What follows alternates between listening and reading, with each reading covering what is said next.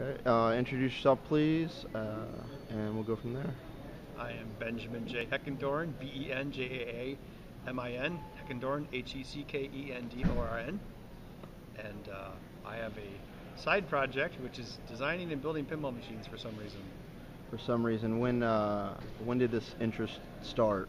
Like, Um, I started working on my Bill Paxton pinball machine back in 2005, and I tinkered that with that for about five years, and I finished it in 2010.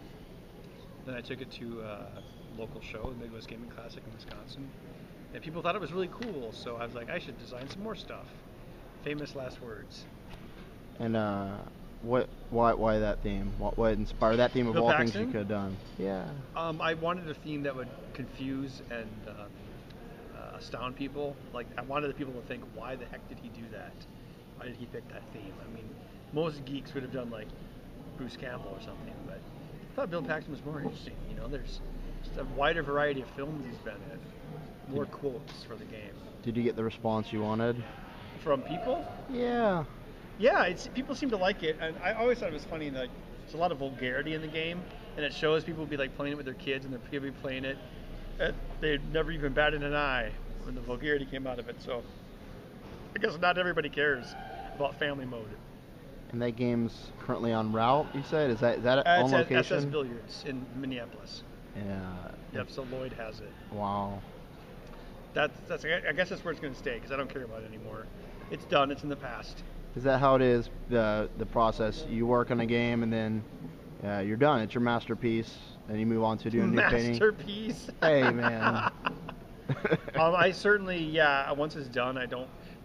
When I say don't care about it, I mean I still support it. Like there'll, there'll probably still be at least two more code updates for Most Haunted. Um, but as far as, or, or besides that, besides supporting it, yeah, I don't care. It's done. Goodbye. I don't. I don't have an America's Most Haunted. I don't want one. It's it's it's dead to me.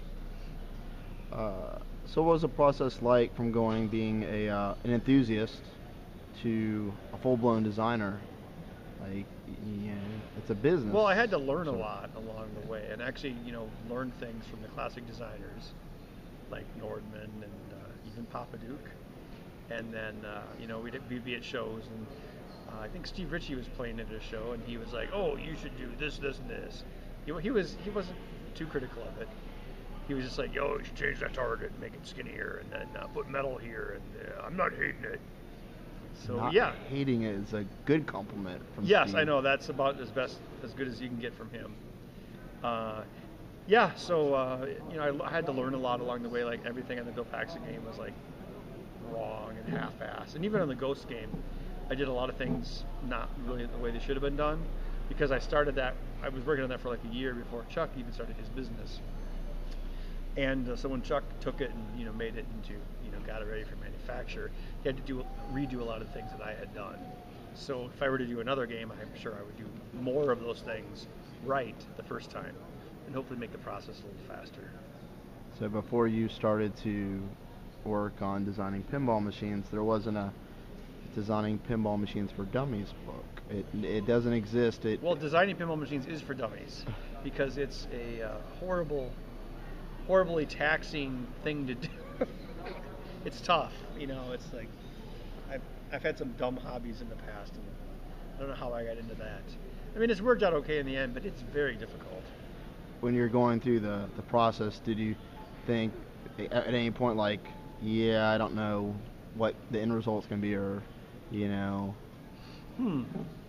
Like, man, this is Of is this the- gonna be is this game or E- game? er, uh, well, Bill, Bill Paxton with with each game, like you know, because the the first one was to complete a game that it played and it worked, you know, functionally right with some code and and some modes, and then you know, if you're making a game to sell, then that's a there's a lot of expectations for a game that's like costs money these Well, days, Yeah, right? Amer- America's Most Haunted had to be, several steps above Bill Paxton, more than several steps above it.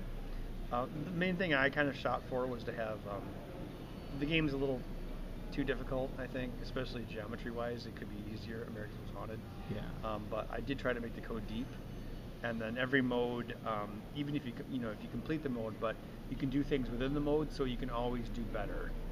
You know, there's always more things you can achieve during the mode, or more sub goals you can achieve. So even if you come back to it, you can improve upon your score. And so that's good for. Um, to me, it's a it's a good tournament game. We have a, the tournament here uh, this year, Southern Fried Gaming Expo, and uh, it's made uh, a few people mad. Every game has, but it's it's it's it's it's wonderful to see. Uh, Is it is it is it is it crueler than uh, Bram Stoker's? really? Is it? No. Oh, okay. I was gonna say you got a Bram No. Stoker's in there. no, yeah, it's set. Yeah, it's set pretty brutal.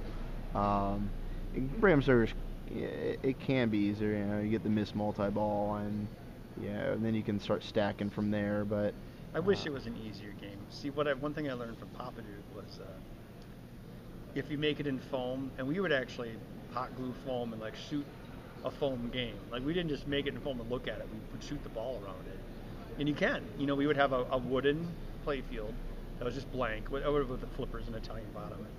But then all like the paths and ramps and stuff, we made it a foam and we'd shoot it and make sure it worked. And then when we put it into metal, everything got faster, maybe too fast.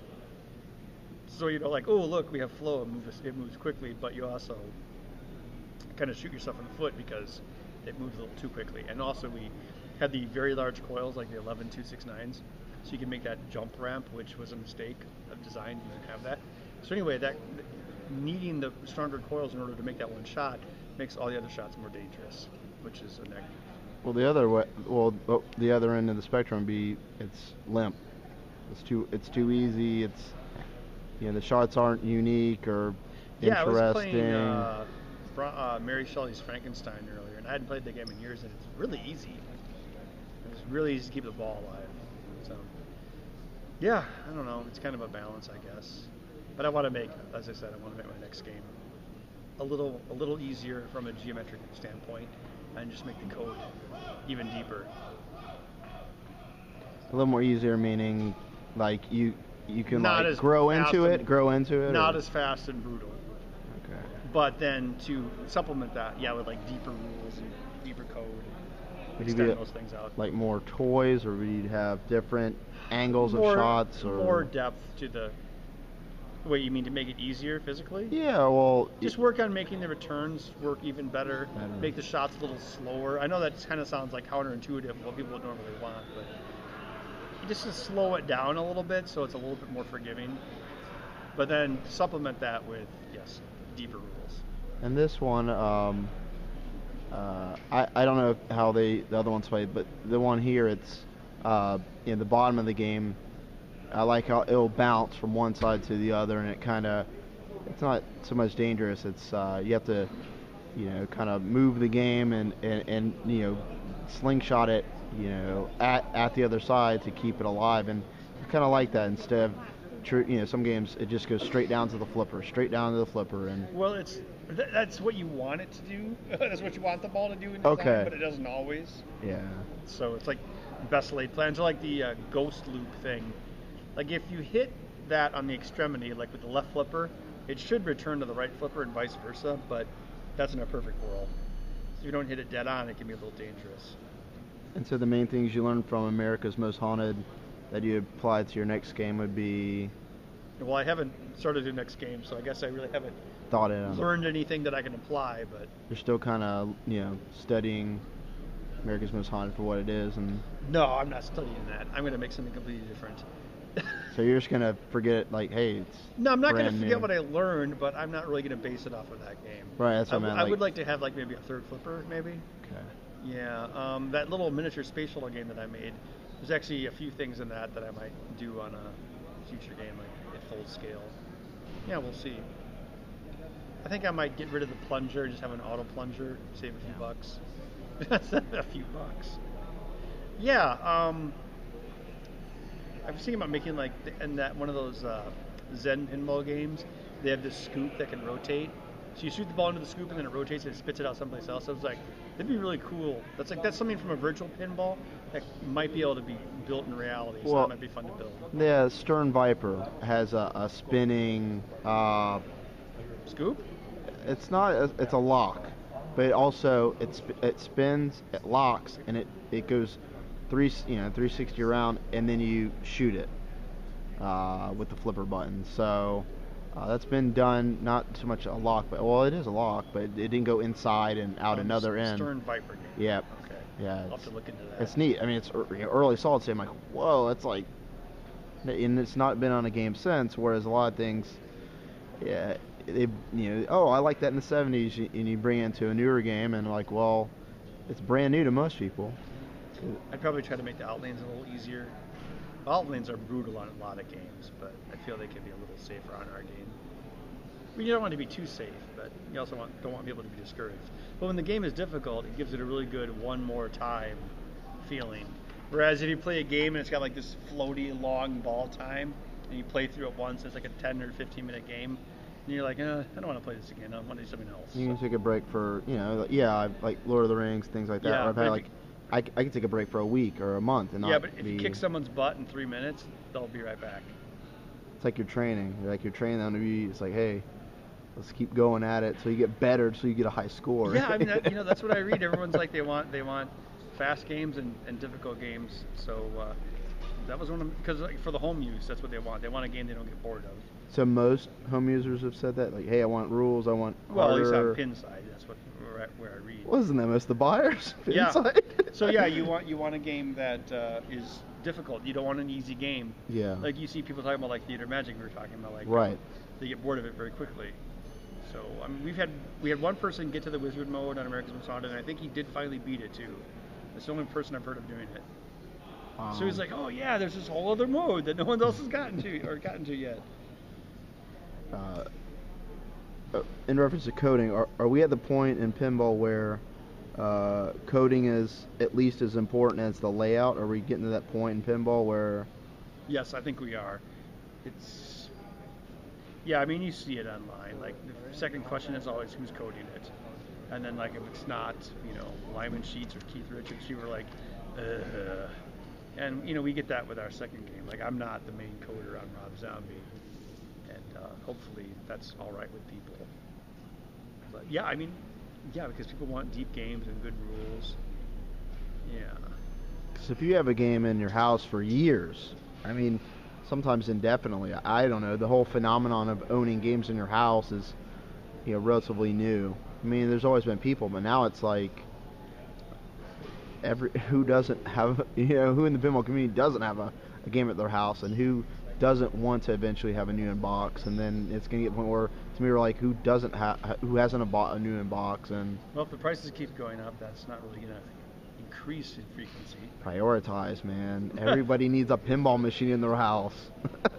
Yeah, yeah. Well, I don't know. if Everyone needs one or would want one even, but it's pretty cool. But out of the woodworks, to me, it's every single day. There's new people in a pinball. Every single day, there's new buyers. So I, I Yeah, that's why I think it's important to pick themes that you know can appeal to people under 60. You don't see that a lot, really. what? Gray-haired rock man, 3D. Well, there's a there's a rumor that Stern might do Jurassic World, which would make a lot of sense because look at how much goddamn money that movie's making. Because how old? No, no, I guess your age. You're 34. Uh, Was it right? Yeah. Right on. Yeah. I'm really good at that. I am too. Okay, anyway, so like people your age or slightly younger, they love Jurassic Park when they saw it as a kid. I was a little too old.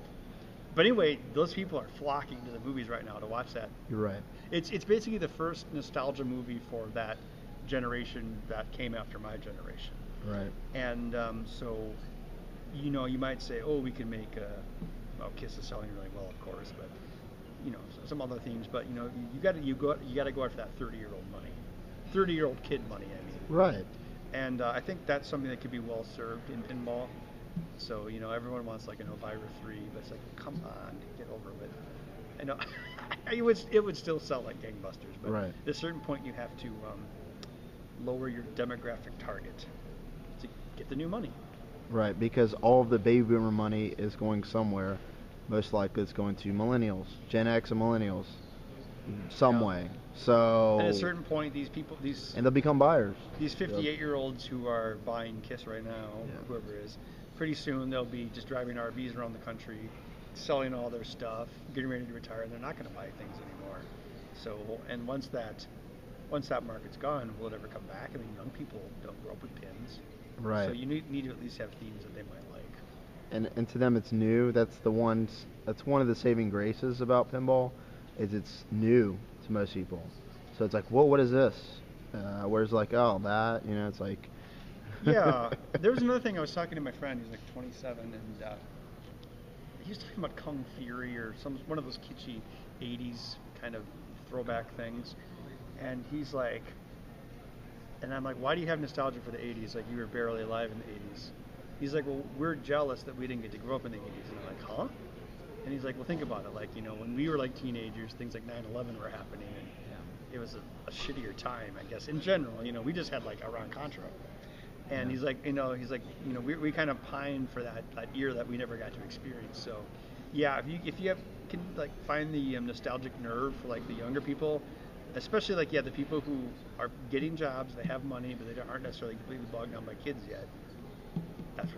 That's where the money is. and the 80s. Jurassic Park's theme song hit number one in the Billboard charts this week from 1993.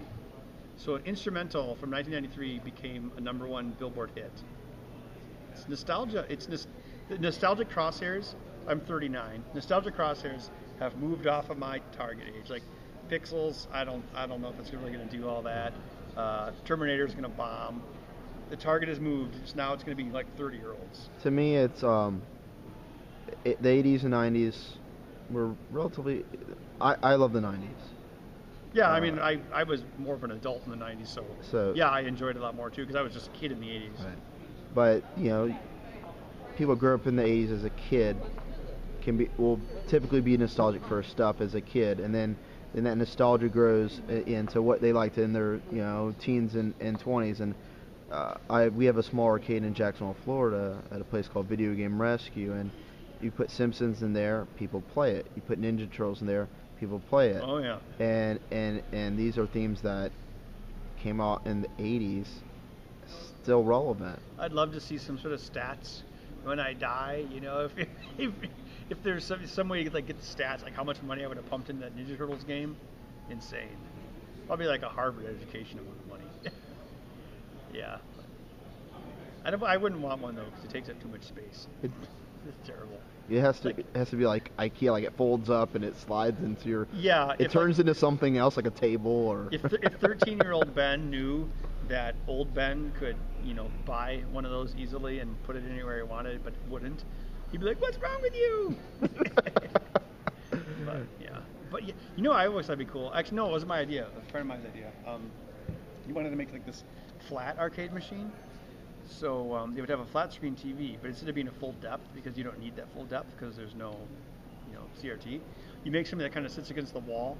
So it's almost like it's it's like maybe eight inches out of the wall. So you still have the control panel and screen, but it doesn't. It only takes up like this much depth. That might be kind of cool. yeah they make some things at the show they're deeper than that but they the philosophy of okay we, we give you a base which is basically a computer and you add a tv to it it's and they're selling they say so uh, there is a demand for that not everybody wants to collect uh, WPC2 boards. I have those. I have uh, Konami JAMMA boards. You know, no, everybody wants to collect that and uh, you know and swap those out and uh, or work on CRT monitors. N- nobody does that, um, and that's I mean, 10 years from now, who's even going to be working on those? Do you think there might come a time when uh, the arcade games are undesirable to the point where they start to become scarce and then become desirable again because they'll be rare? It's already getting that way Really? with weird uh, games. 80s, 80s are.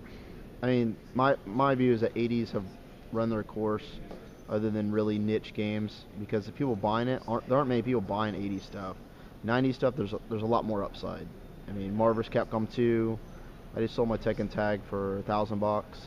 I mean, it's not a you know, it's it's people are in they're like, oh, I remember this one, and they're like five you know, and uh, Marvel vs. Capcom 2, people like want to buy it from me. I'm like, no, it earns every single day. I'm not going to get rid of it. no, you my, gonna, my thing is, I, I don't really get very nostalgic like I see like Dragon's Lair and like I couldn't play it because it was too much money when I was seven or eight or however old I was when that came out. But I look at it now and I'm like, well, this isn't even really a game. Right. so I wouldn't really want it. If I want, I would want it on its merits, not its nostalgic merit. Yeah, it looks good. It's it's something you know. Gary Stern says it's it's uh, it's art furniture in a game, and I told that to one of my customers, and they they're like, yeah, because to to them it's mostly art and furniture. Yeah, the kids we- will play it. We ran into that when we did our uh, green America's Most Haunted cabinet. People hated it, and they're like, "It has to look good in my home." And it's like, you know, that's that's a good point. You have to think about how it's going to look in someone's home. because people spend hundreds of dollars for paintings or uh, the furniture has to look just right in uh, in their house and oh th- that tile better be look right or we're getting divorced it's like you better make the yard look like this and it's Yeah. uh, pinball machine to be in a house uh, Yeah, I better it's got to match the decor at least Yeah, at least that- that's the, that's at the least a is- season of yeah, you decor You, make the cabinet. The cabinet comes in different color choices, so it matches your decor. yeah That's a gateway drug for the wives.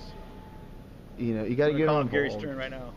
Yeah, yeah, pink pink legs and like the Rollergames here has pink legs. Well, no, not pink, but just you, you can make it match your house. I, I know, but the, the- Okay, but to me, it's you go to Home Depot and there's there's pink tools now. There's pink toolboxes. It's real, you know, and it's and it was, and, and the thing is, it, it's if it sells, it, it makes sense. yeah. Test it out there, you know. You know, they- just like you could have like your game is like it's an oyster and charcoal. You know, like you can pick the colors. Lavender. Yeah, so like it doesn't like stand out; it almost blends into the wall. And Like here, someone's like, "Oh, like this, this color red goes with this off-white wall," and someone thought about that. You know. yeah, it's not hard to do. It's called powder coating. I, I, I do it on my games. It really is.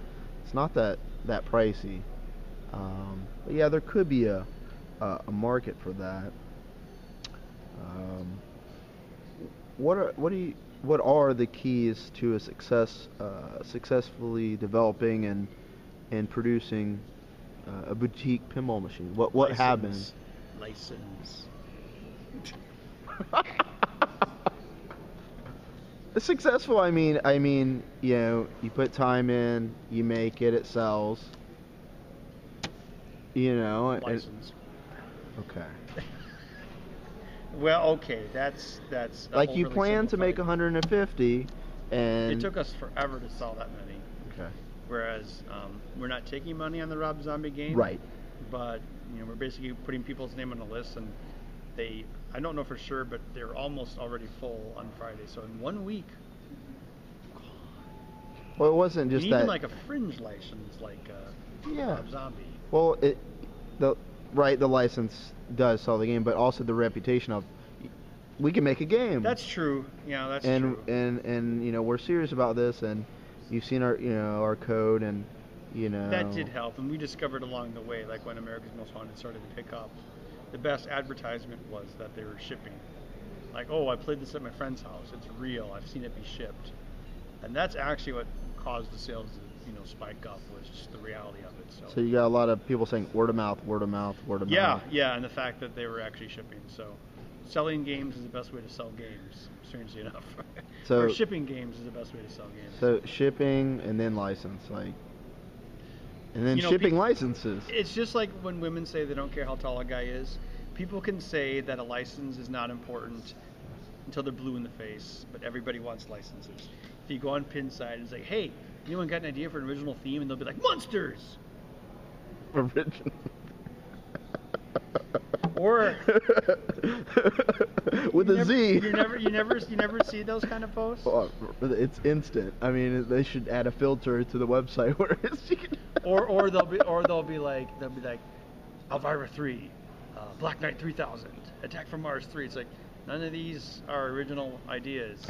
yeah. Uh, it, well, the thing, the thing that the, the problem with that is it's hard because you have to sell the concept. Like if you say Lord of the Rings, you're like, oh, okay, there's these characters.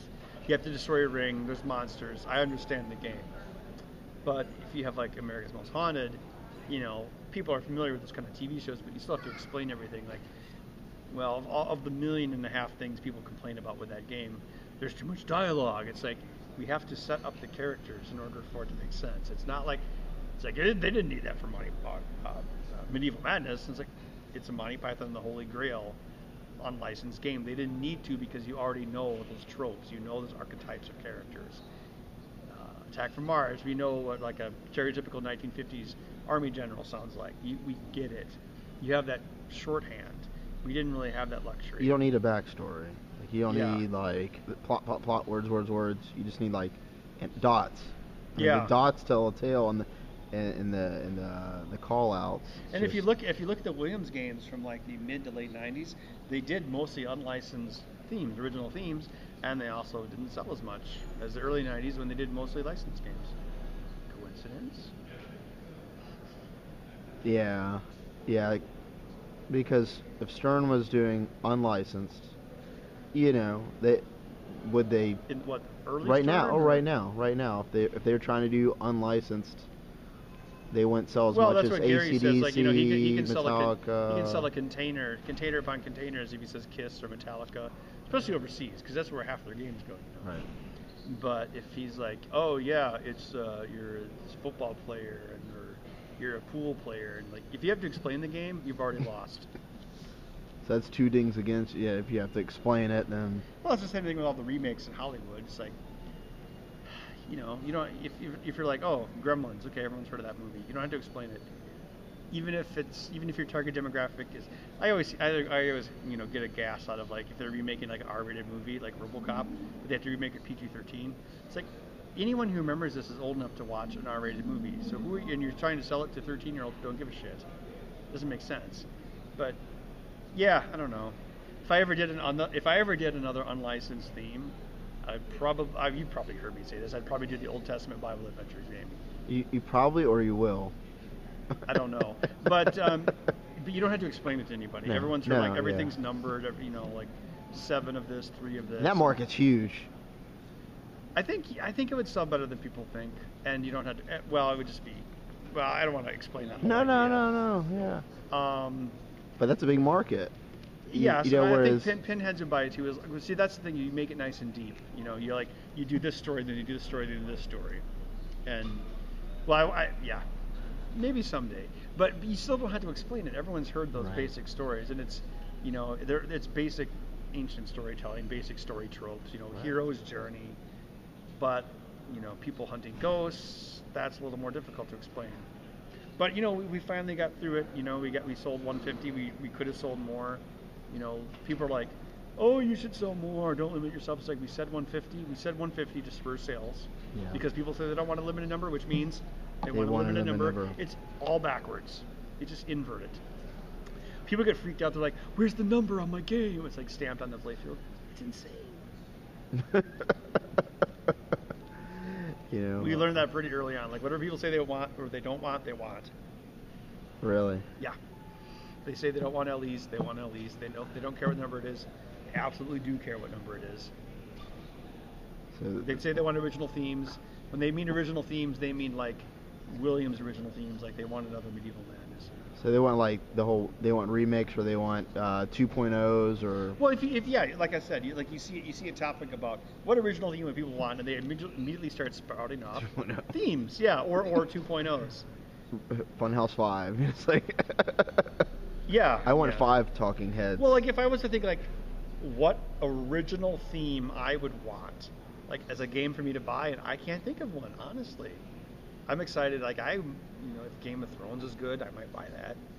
You know, um, because I, I, I can at least I at least know what to expect. You know, and the license you'd want to do if you could do it would be. Futurama. If I could get any, le- no, Futurama and Army of Darkness. Those would be my two top choices. Uh, I would probably edge out Army of Darkness, but we we did look into that, and uh, it got a little hot because of the new show coming out. I think it was timing. Yeah, I mean, like five years ago, I guess the license is like coming back because there's an Ash versus the Evil Dead show. A game like that, I mean, that would just fly out the door. How do you think Futurama would do? Futurama is popular with younger people, as I was mentioning, Right. th- with the new money. Why? Do you think it might have some trouble? No, I, I um, It's a smarter show than Simpsons. it, it, it, it is. Um, I don't know any cartoon cartoon or cartoon-ish related pinball machine that did bad. South Park. Didn't it's terrible, but it was huge. Right, it didn't Simpsons do Pinball right. Party. Right. Um, I it would never get into the homes, but Archer pinball would kill. It would it would translate to pinball very well. Uh, it would be way too raunchy for a game. I saw the Keith Elwin uh, prototype white wood online, and it had the Archer font, and I'm like, it's, I don't. It's, I guess it's not gonna be Archer. I, I don't know if, yeah, I don't know if, who. It, it would be great. I think it could be a great theme, but you're kind of the thing that tight market on the that. thing that always bugs me is um, people think about what things they like, and they also like pinball stuff like that. Must make a great theme, but they really need to think about what themes are good, but can also fit pinball. If you're talking about like Archer or Futurama, for instance, Archer is a spy. He goes on missions. Uh, so those could be your modes. It's very simple. Yeah. You know, do this, kill this guy, blow up this. Futurama. He's a delivery boy. So it's like deliver 10 things to this planet. So that shot represents that planet. 10 shots, you know, makes sense. But then it's like, you know, you get more abstract things like, uh, well, the music games are very abstract. People love them, so I guess it doesn't matter. Uh, yeah, Walking Dead's a good example. It's like, you know, obviously people ate it up because they love zombies. There's like, I love zombies, I love pinball, therefore I want Walking Dead pinball. But That's what it was. yeah, but it's like th- that Done. Fit a pinball Take my machine. money. Yeah, I know, I know. They they sold out immediately. I mean, people that don't play pinball, I'd say Walking Dead pinball, like, oh my god. I'm like, okay. Like, like, okay, I'm not gonna. yeah. or like Angry Birds was another one, which allegedly Stern worked on at one time, never finished, and uh, sounds stupid on paper, but if you think about it, you're flinging balls at things. It's perfect for pinball. I don't know why it never happened. Not just that for route. Um, I mean, kids like to they like silly, stupid stuff, and you know, redemption games will never go away. I call it child gambling. Yes, and I just that's what it is. I, I can't do it. Um, I, that's I'll never be an operator. I'll never do. we have to condition the children to be excellent senior citizens to gamble like in 60 years. Yeah, it's a little early. A little early. it's like it's like you know, learn your skills first and pay your dues, and uh, at least pinball. That's one thing I like about having my route is I get to see parents of their kids actually play together instead of staring at iPads and iPhones. And I've seen a kid with uh, their their their parent and they're staring at iPad, TV's right at their face, head level, and then one kid like, you know, came out of his trance and watched me working on Yeah. a pinball machine. I'm like, whoa, like It- a kid actually is interested. it's amazing, like with people and their cell phones nowadays. It reminds me of that They Live movie. Yeah. But instead of like, you know, having the goggles on or off, it's like it's like aliens could land on Earth and no one would see it because they're looking at their cell phone. Yeah, it's very Brave New World. It's very They Live and. Yeah. Uh, but yeah, pinball philosophically, I'll say it puts you in the now. You can't be playing with your iPhone and and and, and you know. You can't even take a take a pause or take a break. You, you, you have to keep your fingers on the damn buttons. you know, and it uh, it, it's pinball. Making pinball is hard, and playing pinball is hard, and pinball is hard. You know, it's just. Put that on a hat. Yeah. Pinball is hard. It, it, it is. There, there's one question I was going to ask during the uh, your presentation yesterday. Is that uh, uh, you've done uh, you know B horror movies you, uh, of Mhm. the sorts, and I was asked. I was going to ask, um, uh, will there be a cameo by Possum Man in the Rob Zombie pinball machine? Is could that be an Easter egg? Oh, I did. I did mention to Chuck if we could have like the Dragula running over a possum. I don't know if it'll happen. A skeleton is better than a possum to run over. Yeah, it is. It's we do, crunchier. We do have a reference in the uh, in the American Cloud in the back glass.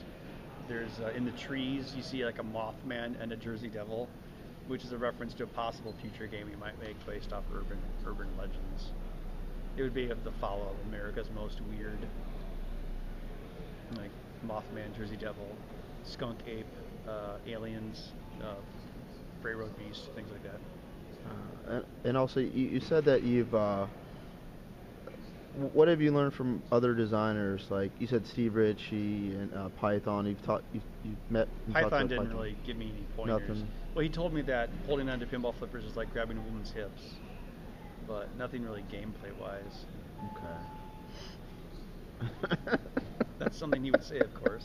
Yeah, yeah. Uh, he was an interesting character. I, I, I wish I could have met him. Uh, Um, but I. Uh, He was uh, never a dull moment.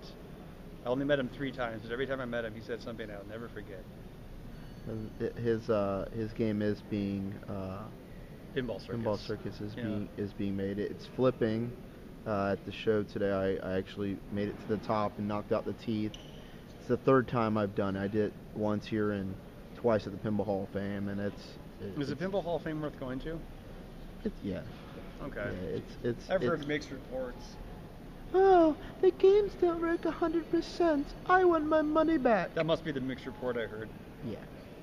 Yeah. Delete that and then Okay. I go by my own review, but I, I volunteered there a few times, and it's uh, after you after I volunteered and uh, worked on games in an environment of 200 games, I go to work on my route. I'm like, this is easy. It's like really. I'm like that. Pinball isn't hard compared to that, you know. 200 games in a room. It's a good variety, uh, 50s, 60s, and uh, modern stuff. They have a, a Whoa Nellie. Uh, they're like one of the first people to get it. Should they have the old one, the uh, prototype? I, Swish. I think they did. I think uh, they, it came straight from a, a show uh, that was in uh, in Vegas, and um, I look forward to seeing how it did. And um, lastly, I'd like to know, in a nutshell, um, uh, what the process and uh, your time with uh, with John Popadiuk was like, and what you learned in a in a nutshell. oh gosh, that thing. So it was like um, I, I was um, doing an episode of my show. We were building pinball stuff, and Jeri Ellsworth came over, and we were working on some pinball stuff. And uh, then we got this random comment on, on our website. It was like, I, you know, I could show you how, how to guy, how you should guys really make pinball. And it was from John Popadiuk. And uh, looking back now, it was like his usual, I'm the teacher, everyone learns from me, kind of thing. But at the time, it was like, oh my God, it's John Popadiuk. So like I emailed him or I, I contacted him back, and then like you know we started talking, and he's like, yeah, we should work on some stuff together. And I was like, oh, cool. And at that time, he had already started his Magic Girl thing. And then he's like, well, I should make a zombie game, and you should be the bad guy in it, Ben. I'm like, uh, okay. And then I think that was before Zombie Yeti was involved. Because I know but Zombie Yeti Right. actually was a fan of mine, and that's one of the reasons he wanted to do it with John, which I learned years later from Zombie Yeti after everyone, you know, started, you know, buying him drinks, so to speak. Of course, I contacted him. Who didn't? anyway, so the thing was with that whole process, I was wasn't really that involved at all. Like um, every so often, I would go down and visit John's shop, or he would come to visit my shop, and we'd work on ideas. But we never even really got to a foam core. I wasn't, again, I mean, I wasn't really involved enough to be invested. You know, I had some ideas, like I wanted there to be a lower play field with like rotating disc. Right, I saw And- that yeah, the it would- video online of Yeah, and you, you would it. complete one stage and then it would rotate. Right, that was neat. Another stage. Yeah, and I don't know if that was going to be in the game or not. I know. Um, yeah, but then I didn't feel that he understood the zombie genre. All he understood was that people wanted zombies. He didn't understand the genre. he didn't watch the movies or keep up on the No. where because it's been you know building for over 10 years of you know 60 days later and Walking Dead Yeah, and everything's just really bubbling. I really hope that trend is 10 coming years. I'm so sick of zombies. what? Yeah, sorry. I, There- I watched The Walking Dead. You know, Some- I expected to, Zombie Atlanta samurais, zombies. zombies in outer space. We're not done here. I mean, look, uh, we're in the same boat, but it's not done. But we're I really think 80s kitsch nostalgia will be the next thing, like Kung Fury and Danger 5. Well, anyway, back to the Yeah. Zidware thing. So, yeah, I mean, we I know we, we had this idea for like a uh, skee ball skill shot, you know, some cool stuff. And the original concept was like I was I was this mad scientist with a zombie lab, and it was the zombie lab was under an abandoned theme park. And this guy and this girl go to the abandoned theme park to make out one night, and then I capture her, and then you're the guy, you're the player, and you have to get it back, right? Simple, right? that's simple. And uh, I want I was gonna turn her into my zombie queen, like so we were gonna have her like dangling above a vat of zombie juice and stuff. And then I guess John just changed everything. That's very horrible. That's that's a good. That would be a good movie. Yeah, well, I think what really boiled down to is he just wanted to make an amusement park game because he's obsessed with Python Anghelo games, like Cyclone or whatever. He had a Cyclone in his shop, and uh, I think he just kind of lost track of what the theme was. I mean, if you look at, um, I think the thing where I really, really became worried about him, it wasn't just that empty cabinet thing Yeah. at Expo.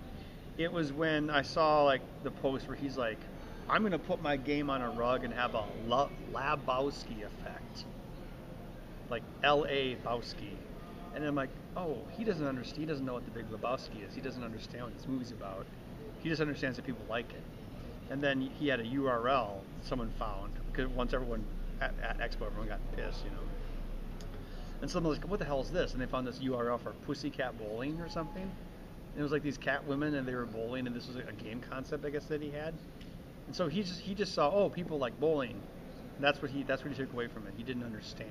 I'm, I'm not I'm not a fan of the movie, but I can see how it translated well. Big Lebowski. It, it's it, to me it translated very well, Yeah. and it was uh, it was it was shooting. The quality looked good. I, oh, I, thought it was I thought it was awesome. Definitely. I mean, if they can get it built, it'll be it'll be a slam dunk. And, and the term he came up with that the Lebowski effect. Labowski effect. Labowski. Because he spelled it how people how it's pronounced. Right. Because you, you say Big Lebowski, you don't say Big Lebowski. No, no You say Big. Lebowski. So he was typing it as he heard it, which means he had no idea what it was. Right. And uh, and you remember when the people found the pho- like people went to his shop and took photos through the windows, and he had the Magic Girl game sitting on a rug. He just thought for some people, for some reason, people wanted games on a rug. Just he just clearly didn't get it, and that's where I'm like, oh, this is not good. And and so you know this this whole you know when it started, I I, I, I I see you on the back glass, and, you know in Yeah. the art, and I and and they you know it's uh, Well, his idea was he wanted to get the younger video game people interested in it. That's Right. why, like with me, and that you would come out and and and to me it's like when they said all right we'll come out and help you build it and this this kit I'm like that Oh, sounds. I- amazing I never but I was just that. I was it sounded he announced amazing that I was at a like show, and I was like, what?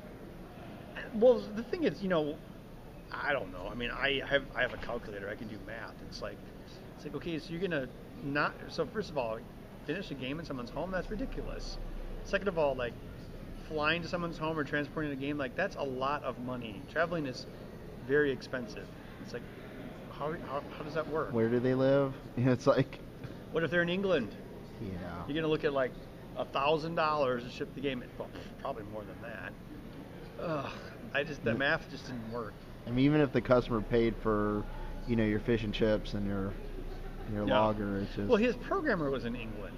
Remember? I, I didn't know that Yeah, uh, th- another one. One of the guys that I surfaced out of the woodwork, and it's like like applesauce or whatever he was on Pinside. It's like okay. So you spend probably two grand shipping a playfield to this guy because it's extraordinarily expensive to ship to England. right Then you have the worst exchange rate for U.S. dollars that you can possibly imagine. Just does not make sense. Of course, well, yeah, you can't deal with logic or expect to deal with logic in those situations. But it's still mind blowing.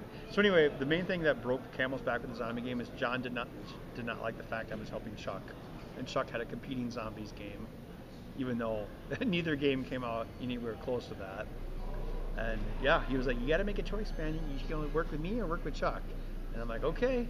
But the thing is, I didn't feel like I had any input into the game anyway. The zombie game I was like, you know, I didn't feel like I had any authorship, so why did I care? I didn't have any investment in it. you you spent you know you, were you like brainstorming hey this is a good idea and we, we talked about stuff like that, but it, nothing ever got built, and it was, you know, again, I wasn't there nearly as much as anybody No, else, but no. I mean, the narrative of just farting around arts and crafts, I can see how that could probably carry over to everything that happened there. It's just like just get it done, basically. Yeah, yeah. I mean, not. I mean, I guess at this point, you know, it's fair game to throw people under the bus, but you also want to like try to put the pieces together, like what happened. Yeah, I wonder. I yeah, I wonder. That's why I mean, uh, I was there a week before Expo. I was there for work, and I Last year, yeah, and I I said, you know, can I do an interview? And I, I, I, I just I sent him the, you know the questions before, and I never do that. I just I'm usually I just wing it, and um, and I you know I saw the play fields in the in the games and things, and um, when he said that it took eight months to do a play field because other you know people who produced I guess other play fields wouldn't do it or they they you know cost costed him out so to say but th- I get but if someone's doing hundreds of playfields as opposed to 14 or 13 or 100 it, I just the things I didn't see the red flags when I interviewed him and then also I I don't know I just I didn't really see any red flags either. Back I didn't know day, I you know but they sure popped up. and, and that's why I'm you know I'm wondering about you know boutique pinball. It's it's like if you can produce something, you know, and you can show that, e- like along the way. The trick is to develop the game on your own money. Right. because when you're saying, "Oh, we want this much money because you know we think the game's going to cost," let's just say it's a ten thousand dollar game. We think the bill of materials is six thousand dollars, four thousand dollars profit per game. So we sell hundred games means we have four hundred thousand dollars with which to develop the game or less. But if, if it takes more than that to develop it, then boom, you're in the hole. So what we've done is, um, yeah, um, I you know develop America's Most Haunted on my nights and weekends. I don't get paid unless they ship. You know, I get a percentage of shipped games. And same thing with Chuck. Like he made very little money until the games actually started going out the door, and that's a great way to get your ass in gear and get stuff done. It's a lot easier. You you work a lot harder for money you don't have than money that's already in the bank. That that's, and when you said that yesterday in the presentation, I instantly felt that in my life because every dollar I make from my route, I put right back in. I- Every too. damn penny. It's like I don't, even if even when I'm doing multiple times better, it's, it's I want to level up to supporting that instead of saying, all right, whatever, let me blow it. Yeah. You know, it's a it's a process. But thank you very much uh, for the interview, No and uh, I look forward to future games.